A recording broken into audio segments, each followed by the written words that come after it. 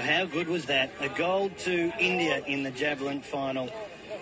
He was amazing. Chopra, silver to Czech Republic and bronze as well. And what a delight it has been to bring you the field action from this simply outstanding venue, the National Stadium of Japan. Thank you to the athletes, memorable in so many ways. Thank you to the people, generous to the end.